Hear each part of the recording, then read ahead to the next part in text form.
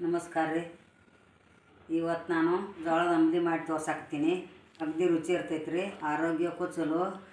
ಹಂಗಾದ್ರೆ ಜೋಳದ ಅಂಬಲಿ ಮಾಡೋಕೆ ಏನೇನು ಸಾಮಾನು ಬೇಕು ನೋಡ್ಕೊಂಡು ಬರ್ರಿ. ಮೊದಲಿಗೆ ನೋಡ್ರಿ ಎರಡು ಗ್ಲಾಸಷ್ಟು ನೀರನ್ನು ಕುದಿಯಕ್ಕೆ ಇಟ್ಕೊಳತೈತಿ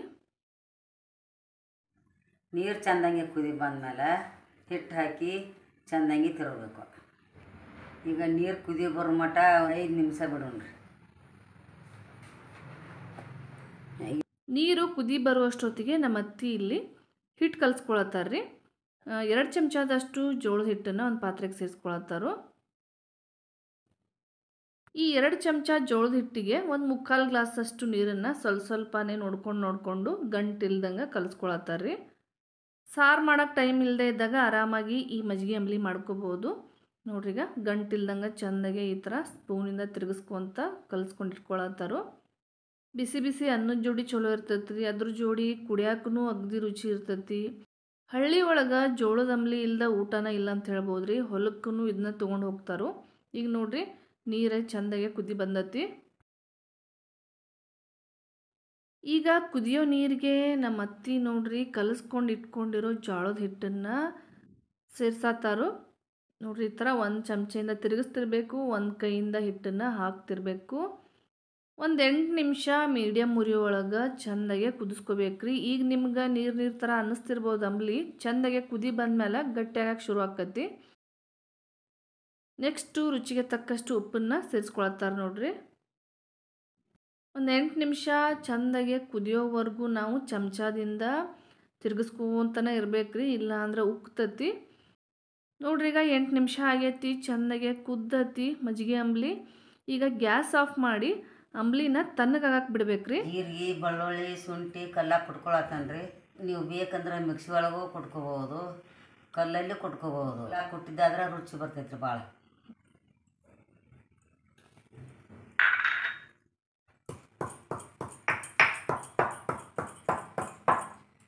ಇದು ಸಣ್ಣವಾಗಿ ಬರ್ತೈತೆ ಬಿಟ್ಟು ನಾವು. ಪೂರ್ತಿ ಸಣ್ಣ ಆಗಬಾರ್ದು ಪೂರ್ತಿ ಮಟ್ಟೇನು ಉಳಿಬಾರ್ದು. ಅರ್ಧಂಬರ್ಧ ಕುಟ್ಕೋಬೇಕ್ರಿ.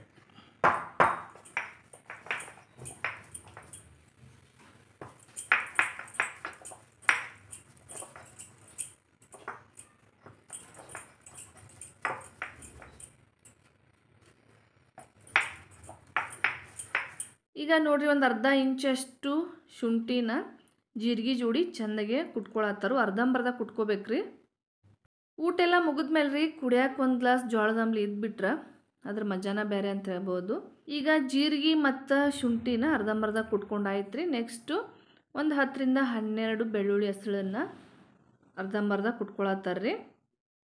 ಆಲ್ರೆಡಿ ಅರ್ಧ ಚಮಚ ಜೀರಿಗೆ ಮತ್ತು ಅರ್ಧ ಚಮಚ ಶುಂಠಿನ ಅರ್ಧಂಬರ್ಧ ಕುಟ್ಕೊಂಡಾಗೈತೆ ರೀ ಈಗ ಬೆಳ್ಳುಳ್ಳಿನೂ ಕೂಡ ಅರ್ಧಂಬರ್ಧ ಕುಟ್ಕೊಳತ್ತಾರು.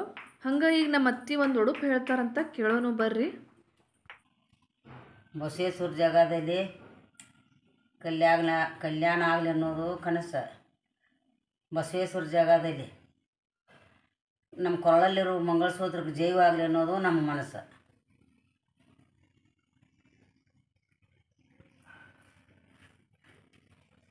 ನಮ್ಮ ಕಾಲದಾಗ ಗಂಡನ ಹೆಸರು ಹೇಳ್ಬೇಕಾರೆ ಭಾಳ ನಾಸ್ತಿದ್ವು ರೀ. ಈಗ ಹೆಸರು ಹಿಡ್ದ ಕರಿತಾರೆ. ಕಾಲು ಬದಲು ಬಂದೈತ್ರಿ ಈಗ. ಹೆಂಗೆ ಕಾಲು ಬಂದೈತಿ?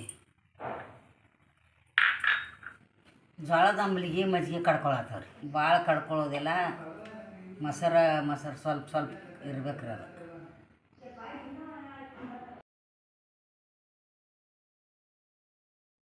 ಈಗ ಒಂದು ಕಪ್ ಮೊಸರಿಗೆ ಒಂದು ಮುಕ್ಕಾಲು ಗ್ಲಾಸಷ್ಟು ನೀರನ್ನು ಸೇರಿಸಿ ಅರ್ಧಂಬರ್ಧ ಕಡ್ಕೊಳತ್ತಾರೆ ರೀ ಪೂರ್ತಿ ಏನು ಮಜ್ಜಿಗೆ ಆಗೋ ಅವಶ್ಯಕತೆ ಇಲ್ಲ.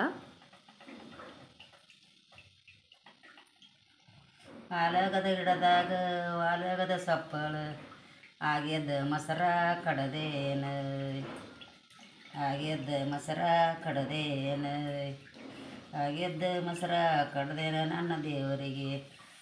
ತಾಯಿ ನಗಮವನ ಹಗಲೂಟ, ಆಳ ಮಕ್ಕಳಿಗೆ ಹಗಲೂಟ. ಮಜ್ಜಿಗೆ ಮಾಡೋದು ಮನೆಯ ಸಾರ ಸೋತ. ಐದು ಒಡಕಲ ಹಚ್ಚೂತ ಐದು ಒಡಕಲ ಹಚ್ಚೂತ ನನ್ನ ಮನೆಯ ತಾಯಿ ನೆನದಗದ ಕಲಕೋನೆ ಹ್ಮ್, ಸಾಕು ಸರಿ ನೋಡ್ರಿ ಇಷ್ಟು ಕೆಲಸ ಮಾಡುವಷ್ಟೊತ್ತಿಗೆ ಅಂಬಲಿ ಪೂರ್ತಿ ಅರೆತಿ ಇದಕ್ಕೆ ಮಜ್ಜಿಗೆ ಮತ್ತು ಕುಟ್ಕೊಂಡಿದ್ರಲ್ಲ ಇಂಗ್ರೀಡಿಯೆಂಟ್ಸು ಜೀರಿಗೆ ಬೆಳ್ಳುಳ್ಳಿ ಮತ್ತು ಶುಂಠಿ.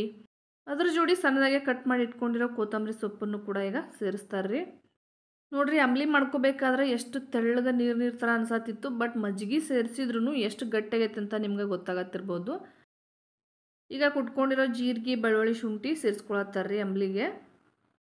ಹಂಗೆ ಸಣ್ಣ ಸೈಜ್ ಉಳ್ಳಾಗಡ್ಡಿನ ಸಣ್ಣದಾಗೆ ಕಟ್ ಮಾಡಿ ಇಟ್ಕೊಂಡಿದ್ರು, ಅದನ್ನು ಕೂಡ ಸೇರಿಸ್ಕೊಳತ್ತಾರು. ಉಳ್ಳಾಗಡ್ಡಿ ಭಾಳ ಆದ್ರೂ ಚಲೋ ಆಗಂಗಿಲ್ಲ ರೀ ಸ್ವಲ್ಪ ನೋಡ್ಕೊಂಡು ಹಾಕ್ಕೋಬೇಕು. ಈಗ ನೆಕ್ಸ್ಟು ಸಣ್ಣದಾಗಿ ಕಟ್ ಮಾಡಿ ಇಟ್ಕೊಂಡಿರೋ ಕೊತ್ತಂಬರಿ ಸೊಪ್ಪನ್ನು ಸೇರಿಸ್ಕೊಳತ್ತಾರ ರೀ ಎಲ್ಲ ಇಂಗ್ರೀಡಿಯೆಂಟ್ಸ್ನು ಸ್ವಲ್ಪ ನೋಡ್ಕೊಂಡು ಹಾಕೋಬೇಕು ರೀ ಜಾಸ್ತಿ ಆದ್ರೆ ಕುಡಿಬೇಕಾದ್ರೆ ಅಷ್ಟು ಚಲೋ ಅನ್ಸಂಗಿಲ್ಲ. ಕುಡಿಬೇಕಾದ್ರೆ ಬಾಯಿ ಒಳಗೆ ಸ್ವಲ್ಪ ಲೈಟಾಗಿ ಇರ್ಬೇಕು ರೀ ಇವೆಲ್ಲ ಇಂಗ್ರೀಡಿಯೆಂಟ್ಸು ಈಗ ನೋಡಿರಿ, ಕೊತ್ತಂಬರಿ ಸೊಪ್ಪು ಹಾಕ್ಕೊಂಡು ಚೆಂದಾಗೆ ಮಿಕ್ಸ್ ಮಾಡ್ಕೊಳತ್ತಾರು. ಫೈನಲ್ ಆಗಿ ನಮ್ಮ ಉತ್ತರ ಕರ್ನಾಟಕದ ಸ್ಪೆಷಲ್ ಜೋಳದ ಅಂಬ್ಲಿ, ಅದು ನಮ್ಮ ಅತ್ತಿ ಕೈಯಾಗ ಸ್ಪೆಷಲ್ಲಾಗಿ ರೆಡಿ ಆಗೈತೆ ನೋಡ್ರಿ. ಜೋಳದ ರೆಡಿ ರೆಡಿ ಆತ್ರಿ. ನಮ್ಮ ಕಾಲದಾಗ ನಾವು ಹೊಲಕ್ಕೆ ಕಟ್ಕೊಂಡು ಹೋಗ್ತಿದ್ದೀವಿ ರೀ ಅವಧಿ ಇದನ್ನು. ಬಿಸಿಲಿಗೆ ತಂಪು ರೀ ಶರೀರಕ್ಕೂ ಆರೋಗ್ಯಕ್ಕೂ ಚಲೋ ರೀ. ಭಾಳ ರುಚಿ ಬರ್ತೈತೆ ರೀ ಊಟದಾಗ ಅಂಬುದಿದ್ರೆ ಇನ್ನೂ ಎರಡು ತುತ್ತು ಹೆಚ್ಚು ಉಣ್ತಾವೆ ರೀ ನೀವು ಇದನ್ನು ಮಾಡಿ ನೋಡ್ರಿ. ಬರ್ತಾ ಬರ್ತಾ ಹಳ್ಳ್ಯಾಗಿನ ಅಡುಗೆ ಕಡಿಮೆ ಆಗತ್ತಾವ ರೀ ಶರೀರಕ್ಕೂ ತಂಪು ರೀ ಆರೋಗ್ಯಕ್ಕೂ ಚಲೋ ರೀ. ಈ ಥರ ನೀವು ಮಾಡಿ ಉಣ್ರಿ. ಇವತ್ತಿನ ಜೋಳದ ಅಂಬಲಿ ನಿಮಗೆಲ್ಲ ಇಷ್ಟ ಆಗೈತಿ ಅಂತ ರೀ ಮತ್ತು ಹೊಸ ಅಡುಗೆ ಜೋಡಿ ಮತ್ತೆ ಸಿಗೋಣ್ರಿ ಅಲ್ಲಿವರೆಗೆ ಎಲ್ಲರಿಗೂ ನಮಸ್ಕಾರ ರೀ. ಶರಣ ರೀ.